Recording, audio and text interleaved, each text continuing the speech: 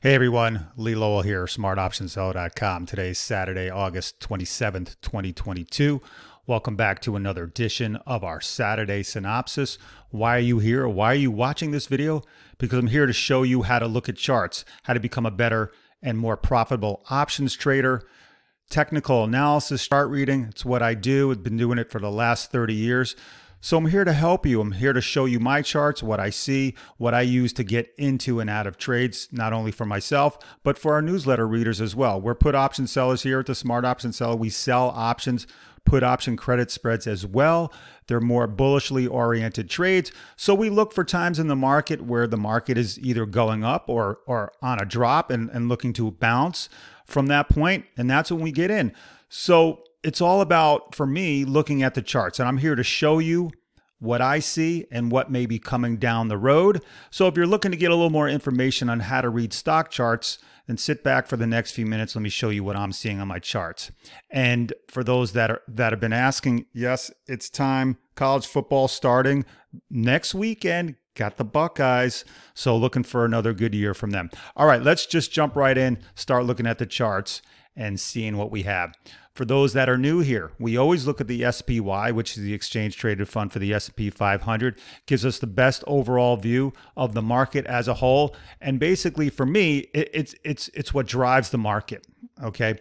And uh, individual stocks will typically follow the general market as long as there's nothing um, specific going on about that that individual stock at the time. Most most notably earnings announcements. So since there's not a lot of news on an everyday basis for individual stocks, they will typically follow along with the with the market as a whole. So that's typically why we like to look at the S&P 500. It's made up of 500 different stocks. It's a good barometer. So on what you're seeing here in front of in front of you is what I look at. This is how I have my chart set up. Uh, the real estate here is about two years worth of, of, of, charting, two years worth of history, I should say.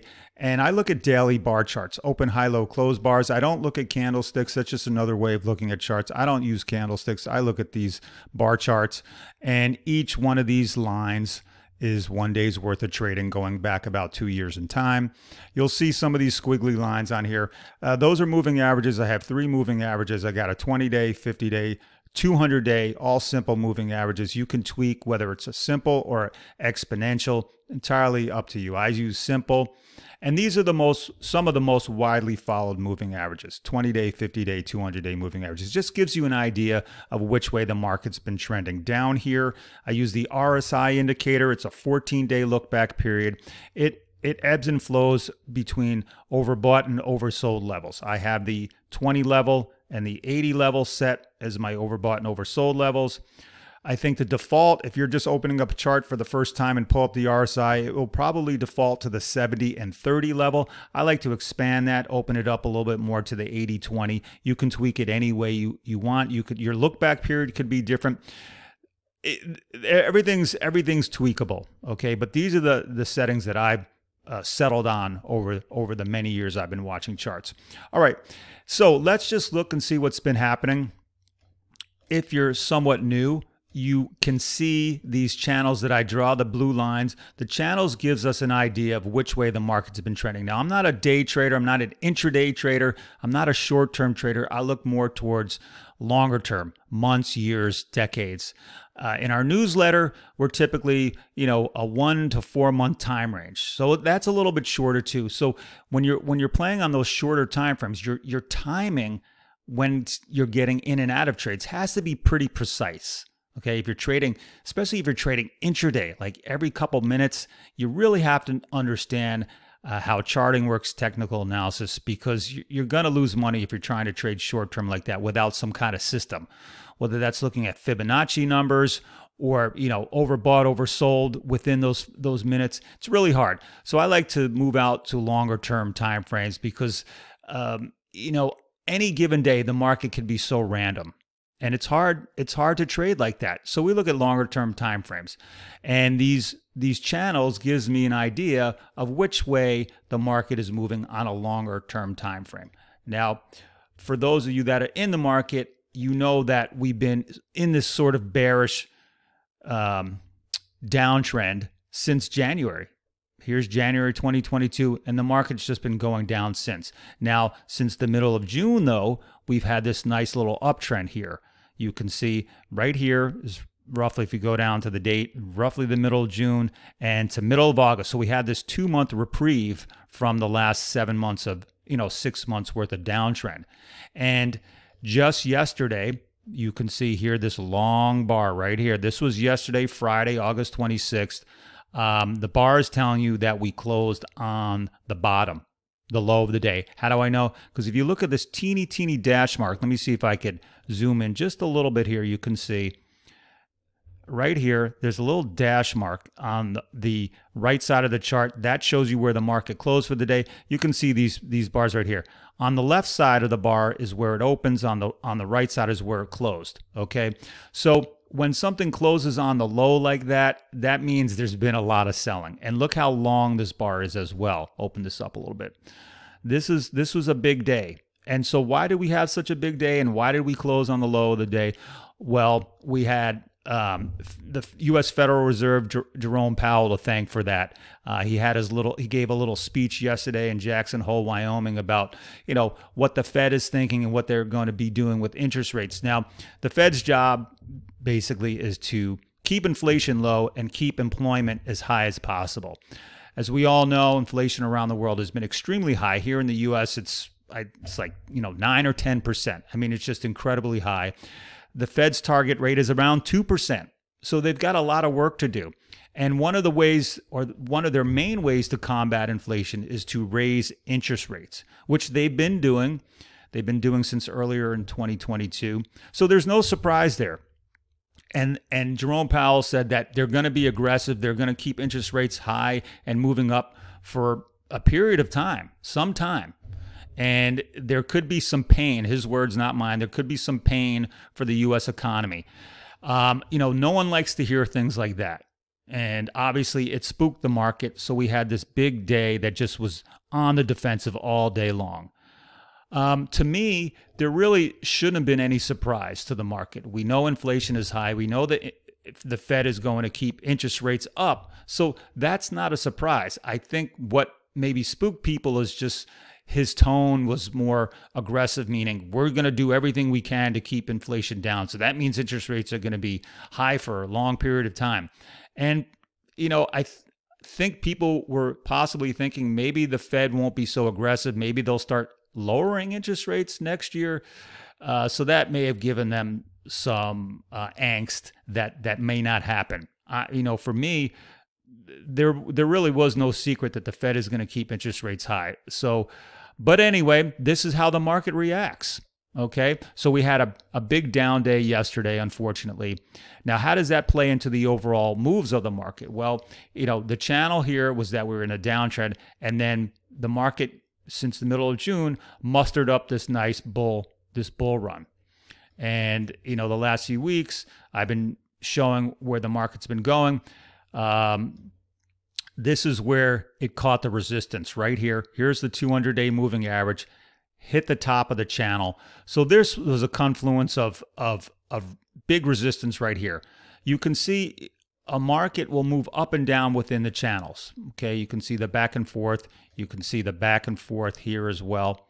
So when a market is in a certain direction, uptrend or downtrend, whatever, over time, you can see how it bounces within the channel. Now, since the middle of June, the market, probably since the middle of July, right here, the market just went straight up. So there had to be some resistance and profit taking at some point. And when it hit along the 200 day moving average, which is a very popular moving average, people will start to see things at the same time. So there was a lot of selling coming in here. Uh, I didn't think it would it would get hit as hard as it did. I I did say that we'd have a, probably a little bit of a pullback, maybe some sideways action. But with Powell's talk yesterday, it, it, spooked the market and it knocked it through the bottom edge of the channel here. You can see right here, uh, the market closed well below the bottom edge of the channel. So, what's going to happen next week? Well, we have to wait and see. Will the bulls realize, you know what, that wasn't such a big deal? We know interest rates are staying high. You know, we want to we want to get back into the market. You know, technical analysis here like this this would be a good place to potentially you know, nibble a little bit, looking for the bounce. You know, the market could, could just keep going lower. All right. So there's no guarantees in trading. There's no guarantees in technical analysis. Nothing's 100% accurate. You're trying to make high probability decisions. Okay. So we have to see where the market opens Monday. We'll probably get maybe a little follow through. Now, what we have lurking down here is the 50 day moving average. Okay. So the next landing spot, if the market is going to keep falling, would be on this 50 day moving average, which would take us right now, it's about 398.56 on the SPY. So it would take it under $400 per share. So we have to see. Or will the bulls come back and start fighting to get to the upside? Now, I've been mentioning typically August and September, seasonally wise, has not been very friendly to the markets. If you go back and look, you know, maybe the last 10 years or so, maybe even longer. August and September just has not been great for the market. So if you're following seasonality, you might you might you might have been out of the market and waiting for the bounce at towards the end of September, early October. So that's just another thing to think think about. But for right now, the the SPY, the S&P 500 fell through the bottom edge of the channel here. So the next spot could be the 50 day moving average. We'll have to wait and see. Uh, I didn't see any surprises here, any surprises, but you know the market thinks otherwise. The other thing why people will sell stocks when interest rates rise is because now fixed income securities such as bonds and CDs um, could give you more return on your money. Banks will pay a little bit more now on your, your cash savings deposits. So people will start to sell some stocks in, in order to get that fixed income from bonds and CDs, treasuries, whatever. Uh, they still don't pay a lot. I mean, stocks are still the best game in town, but you know this is how the market reacts. So we have to respect that. We have to we have to respect what the market is showing us. Our opinions, our thoughts, our thinking that the market has to go this direction will will always prove you wrong. So it's better to let the market tell you and, show you which way it wants to go. And for me right now, breaking through this bottom edge of the channel, finishing on the lows is is pretty much a okay, let's step back a little and, and let the bears do its thing. And what I've been doing all this time, I'm nibbling on the way down because I know in the long run, the market goes up over time. So I'm holding my, got my retirement funds for the long haul. Okay, I know the market will go up go up over time. It all depends on what type of trader you are. You know, if you're looking to pay the bills and you need money and you got to trade intraday because you need money every single day, you know, that's something that you have to try to figure out yourself. I that's not me. I can't do that. I've tried that many many years ago, many times, couldn't find a strategy that works. So, you know, I'm I'm not a, afraid or ashamed to say I'm not an intraday trader. I'm not a day trader. I just can't do that. So I look out for the long run pick trades with more time involved and and it typically works out for the good. But anyway, we try to see what's happening. Let's look at the the Qs here. The triple Qs, Nasdaq and and see what what's been happening there. I mean, you'll see these indexes look pretty much the same. big day, big down day right here. I mean, this was a you know intraday from top to bottom. The the size of the bar tells you the range of the day. You can see, you know, some days are, are bigger than others, and then some days we have we these, you know, small ranges. This was a pretty big day. So everything's got sold yesterday, unfortunately, well below the channel here. Coming on, looking at the 50-day moving average for some next area of potential support, landing spot, whatever. All right, so uh, we're on the defensive right now. Um, we can look at the Dow Jones. This is the DIA, the ETF. Uh, same thing, big day for the Dow. Came down through the channel, got the 50 day lurking below. So they're all the same. They all look the same. Bad day yesterday. Um, let's look at individual stocks as well. That's what we do. We start with Apple. We look at the more popular stocks. I mean, if I had to look through all thousands of stocks, we'd be here forever. So we look at some of these more popular stocks. We had looked at Apple the last few weeks, had this beautiful V-shaped bounce here. Um, here's the all-time high for Apple in the low 180s. So we were getting close, and then just yesterday derailed it for now. for now. Here's the here's the bottom edge of the channel right here. And and the channels don't have to be precise. I mean, let me remove this and show you what I do. You know, if you want to draw a leg, you, you try to connect some of the bottom bottoms of the of the most recent or in the past here. You can see I'm connecting the bottom bottom edges of some of the the moves as best as you can. Okay, so we're looking at it like maybe right here. Looks a lot similar to the one I just deleted. Okay, so Apple's coming down to the bottom edge, and you can see where it connects right with the 200 day moving average right here. So in the next couple days, if we have some follow through to the downside, Apple's next landing spot will probably right around here, right above $160 a share. Okay, and if it gets through that, then you have the 50 day moving average lurking down below. Okay, but you can see how the market moves, in, you know, bounces in the channels. And it's going to stay in that channel until something moves it to the other direction. So you can see here, we were in the downtrend and then it started to move, starting to form the next channel. If the market or the stock comes down a number of days below, then we can start drawing the next part of the channel. And we can know, all right, now we're, we're back in a downtrend until the next trend happens. So these are the things that just kind of helps you follow along where the market's trending, where the stock's trending, and how to time your trades a little bit better. For us in the newsletter, where we're looking for bounces, we're looking for more bullish trades, we would wait for an opportunity like this where the stock or index is coming down to the bottom leg of the channel. And then we can either either front run it and, and, and hope that it bounces, or we actually wait for the confirmation of the bounce. Sometimes we uh, I get uh, a more try to front run it a little bit, try to get that that that spot right on the on the edge. Um, because once it bounces, then we don't get as good fill prices on the option trades. So sometimes we try to front run it, sometimes we wait.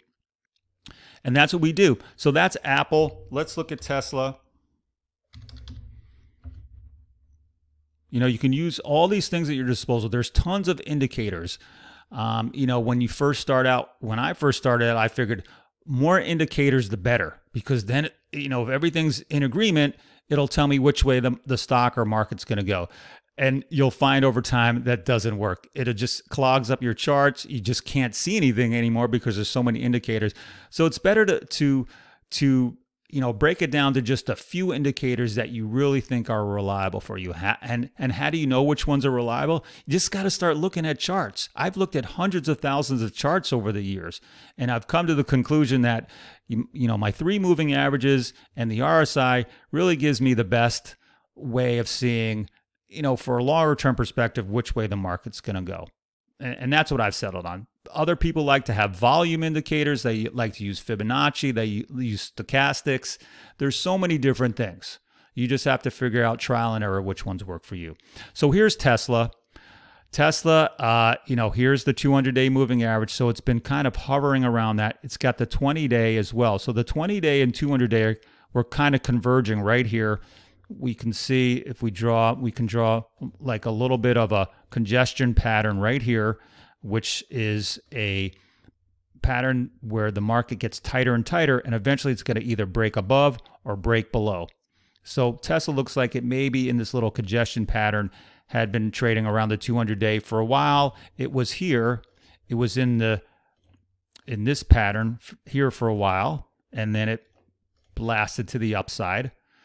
So Tesla is hard to take down. It won't stay down for long. Tesla just underwent its three for one stock split um, was trading at you know roughly nine hundred dollars a share earlier this week. Did three for one, so it was trading right around three hundred dollars post split. All right, so keep an eye on Tesla. This little congestion pattern. It's if the market starts going up, Tesla's going to go up. If the market starts going down, the, the general market I'm talking about, Tesla will start to follow. Uh, the only other thing that moves an individual stock is, like I said, an earnings announcement that comes every three months, every quarter or some other specific news item. Like, of course, we know Tesla, Elon Musk is is in that battle to to buy Twitter or not.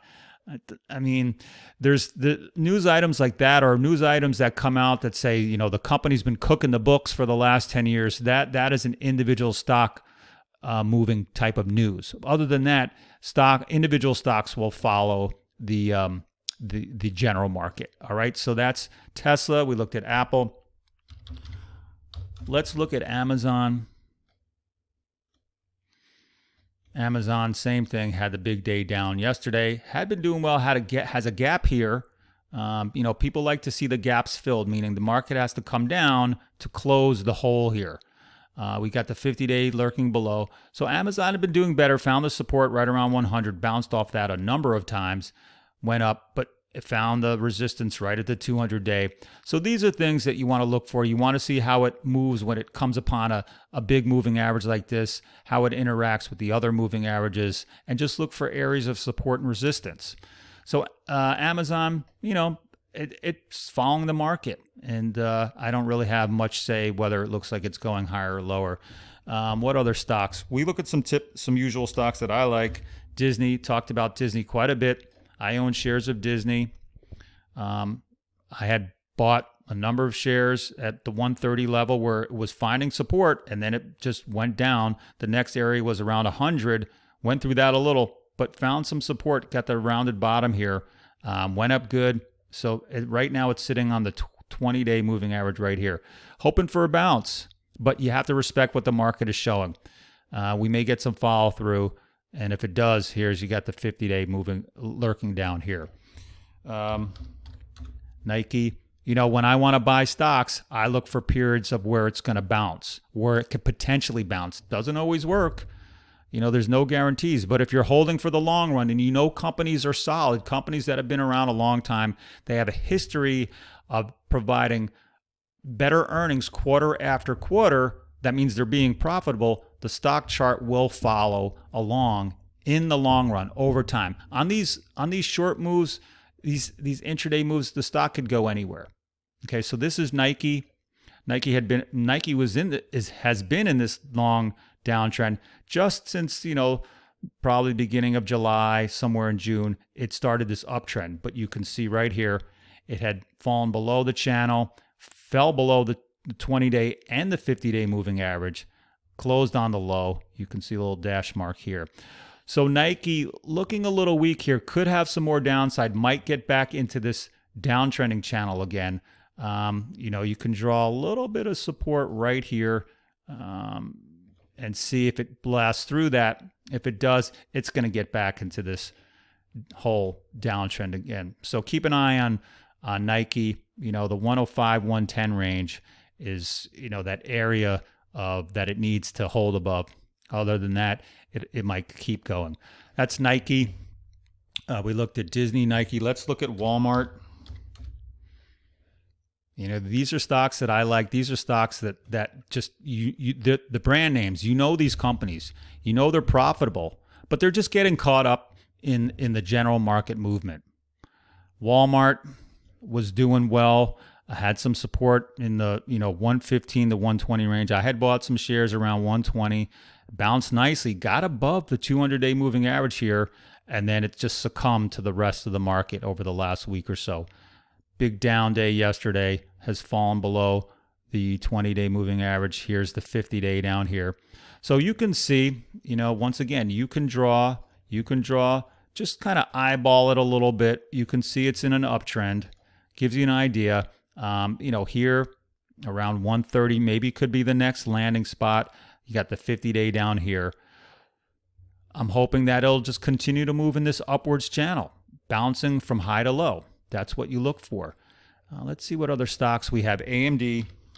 I talk about AMD all the time. We're we're in a play in AMD, a bullish trade on AMD, and we want the market to go higher. Obviously, AMD had been in this long downtrend finally popped out of it and now it's you can see a small tra- trend here. Draw another line. You can see a little bit this could be a bull flag okay? It's in the eye of the beholder.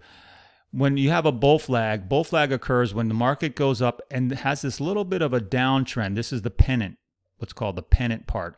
You have the pole the pennant and then it should move higher you know, no guarantees, but this is more of a bull flag, sort of the congestion pattern as well. There's a couple things going on here.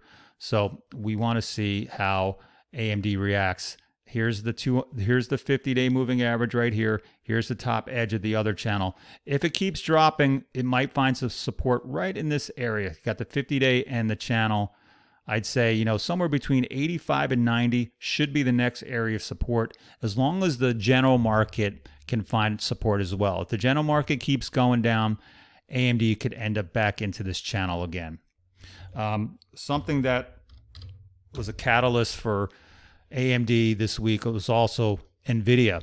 The two of them share the chips sector space, uh, computer chip sector. Uh, NVIDIA had some big ranges. They had earnings the other day. First it dropped, then it went up, and then it just dropped with the with the rest of the general market. So if you're playing the chip sector, keep an eye on AMD, NVIDIA. Uh, Intel, we also look at. Intel is probably the worst of the bunch uh, down in the dumps here. Just there's been no bounce at all in Intel. Just just it keeps going down.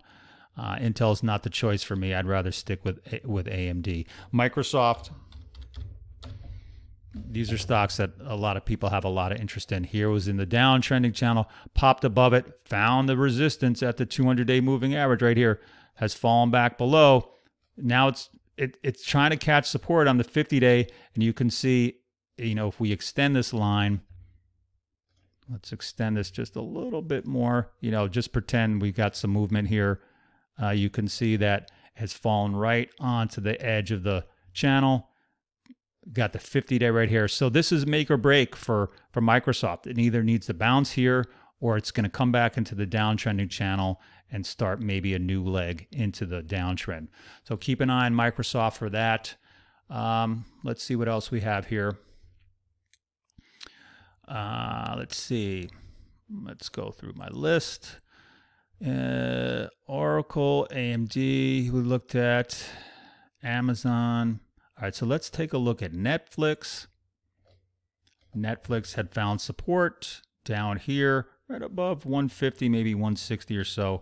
Uh, I've been doing well. Didn't get hit too hard. Here was yesterday, Friday, so it's still kind of in the in the range where it was. You can possibly draw maybe some support here and see if that could hold. Um, you know, but but Netflix has got a long way to go. Uh, it was up here around seven hundred dollars a share, got down to almost one fifty. That's a big move. So see where it goes. If if the market, if the general market could bounce, Netflix will probably bounce right off the support line and keep going. Here's the 200 day here. Uh, let's see what else we have. Cisco, we got into a, a trade in Cisco this week. Cisco had great earnings. This is why it gapped up. You can see the was trading here, then it gapped up here, and then it had the pullback, what's called the post earnings announcement drift. Good stock, good earnings, but then it drifted back. We I thought it was going to have some support at the 20 day moving average. We got into a trade. Can't tell you which one it is, but um, we're, we're looking for Cisco to go back up. Obviously, it got caught up with the rest of the downtrend of the market yesterday, so it fell fell below the 20 day. Here's the 50 day lurking below, and we'll see where it goes. But great company. And if you want to learn more about put option selling, let me let me take a quick break here and show you our website, smartoptionseller.com. If you want to learn about put option selling, what it is, why we love it so much, why it's the basis of our system, go to our website, click on put selling basics here at the top and you know read what we have you can put your name and email address here you'll get an email from us uh, there'll be a link in there for to download the free copy uh, and if anywhere else on our website you'll get a pop-up box to fill out the form as well just this page shows you tells you a little bit more about it um, we also have our services tab here if you want to learn more about our newsletters what we do and we also have our coaching that helps you get to the next level if you're just starting to learn about options all right, let's go back to the charts. Cisco. Let me see what else we have here. Procter and Gamble. Uh, so we talk about the healthcare stocks: Eli Lilly, Bristol Myers, Pfizer. We got hit a little bit this week, just along with the rest of the market. Merck, uh, J and J. Where's my J and J? J and J getting hit a little bit as well. So you know everything's been getting hit. It's just how the markets have been moving. August and September, once again, seasonality. Got the Fed talking. You know, these things move the market. But in the long run, if you're holding for the long run, uh, we know the market goes up over time. Short term, anything could happen. Verizon still down in the dumps. I, would like to get into the into the telecom sector, but you know Verizon would be my top choice, but it's not here yet. It's not telling me it's time to get in. Same thing, AT and T. You know, just not really doing much. PayPal. Let's look at PayPal and Square payment sector. PayPal let's move this up a little bit here. Had been in had been in the long long long long downtrend. Finally broke out of it trying to find support at the 20 day moving average here.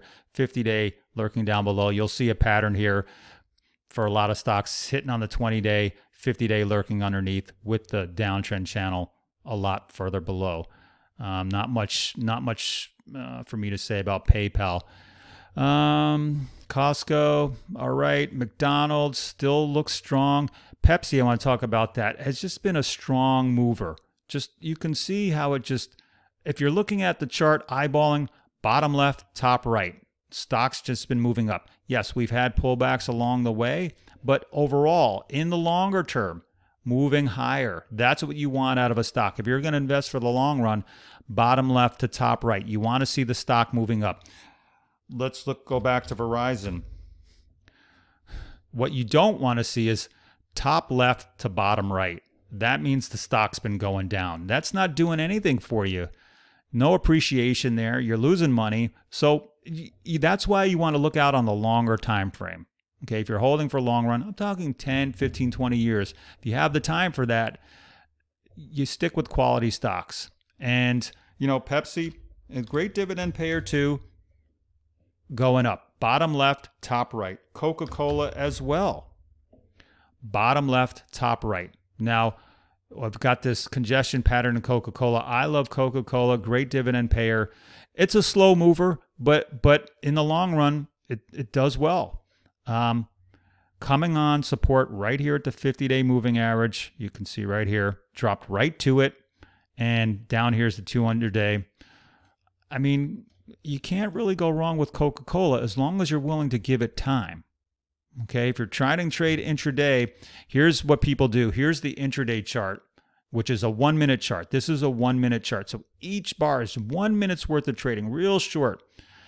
I, I, how do you how do you how do you pick a trade? How do you make trades based on that? For me, it's hard. Here's the here's the here's the SPY intraday. Are you going to try to get long here, short here, long here, short here, short here, long here? It's hard. It's too intensive. You got to sit in front of the charts all day long. You know, if that's what you're doing, uh, not for me.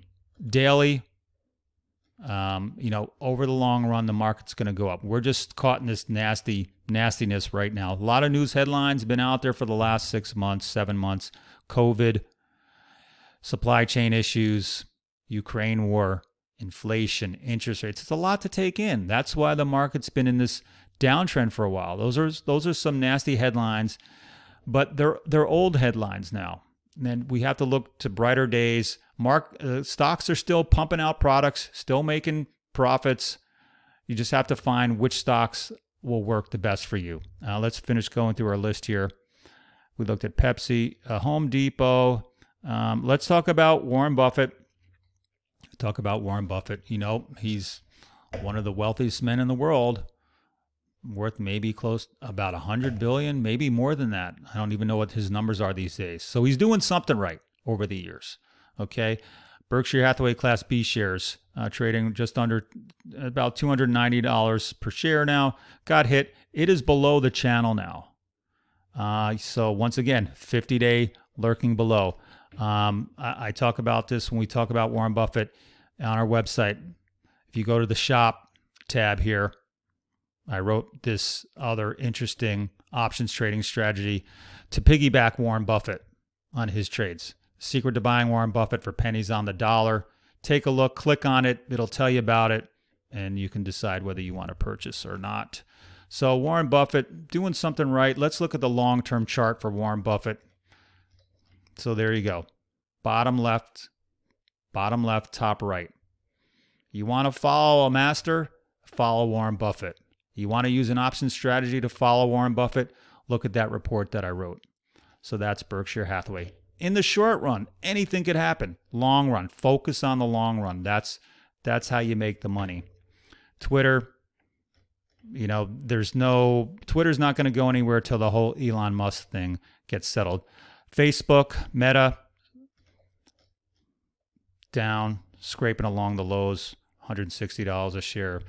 Um, you know, you can you can draw the support line, take your line, connect some of the bottoms.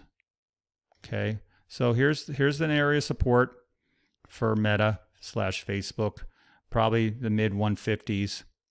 And if you want to draw, you know, a top line here, you can do that as well. Okay, so it's in it's in that kind of little bit of a channel and it's bouncing in between. So the next eh, stop could be the bottom edge. If it bounces, then maybe take a stab, ride it up to the top edge, take some profits here, and see if it comes back down. Those are some things that you can do. IBM, not bad. Google, Google's in its channel in a channel of its own. Bouncing, bouncing, bouncing. Got above here, but came back down, heading towards the bottom edge probably if the, the, whole general market starts to move down next week as well. So keep an eye on Google for that pattern. Um, GameStop, AMC, uh, you know these these companies are still around. You know these meme stocks. AMC got hit pretty good the last week. Let's look at Bed Bath and Beyond because that was the stock du jour of the last week or so. Um, these are stocks that have a lot of short interest, meaning there's a lot of people selling the stock, hoping that it keeps going down. And then all of a sudden, it gets this huge rise. People have to cover their shorts. They have to buy the stock. So everyone's scrambling over themselves to buy up the stock. And then it powers higher and then it gets crapped on again. So Best Buy, you know, you make money, make sure you take your profits. Don't get greedy and think it's going to keep going. If you want, maybe hold a runner. Holding a runner means you keep a little bit of a little bit of extra just in case it keeps going, but get out of the majority of your your your position because look what happens. That hurts. You make all that money and then you just give it all back. Don't forget to take profits in your if you're trading those kinds of stocks. Peloton, same thing. They had earnings. It's just scraping along the lows. Um, Alibaba, Clorox, and Colgate you know, these are companies that sell products that we use every day in our lives. So they're doing okay. All right, that's about it. We're getting a little long here. Let's look at the SPY one more time. What's going to happen for next week? Obviously, there's no guarantees. Market ended on the lows. Could be some follow through next week, maybe come down to the 50 day. Obviously, I've got positions. I want it to go up. I want to see it go up, but I'm not trading that way. I'm trading what the market is showing me. And right now, we may have some more weakness ahead, depending on how the rest of the market feels next week after the Jerome Powell news. All right, so that's all for the Saturday synopsis. Hope this video has been helpful. Leave me a thumbs up. Leave me a comment. I'll always answer. Send me an email. I'll always answer. Don't forget to to subscribe to our um, free Put Selling Basics ebook and uh, just learn another strategy. All right, that's all for me today. I hope everyone has a great weekend, and I'll see you all next year, next Saturday. Okay, this is Lee Lowell signing off.